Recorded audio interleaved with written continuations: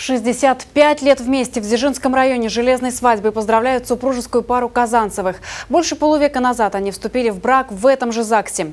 Рима Ивановна и Александр Михайлович познакомились еще в школе. За время совместной жизни воспитали двоих детей. У супругов четыре внука, пять правнуков и один праправнук. Большое семейство и представители администрации поздравили юбиляров с памятной датой. В знак многолетнего союза супруги, как десятилетия назад, обменялись обручальными кольцами.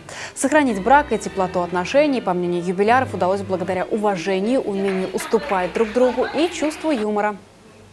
Один рассердился, второй должен как-то ну, или какой-то юмор сказать, или что-то какое-то слово, чтобы рассмеялась.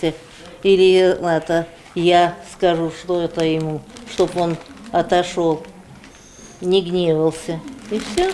И мы никогда не ругаемся, никогда.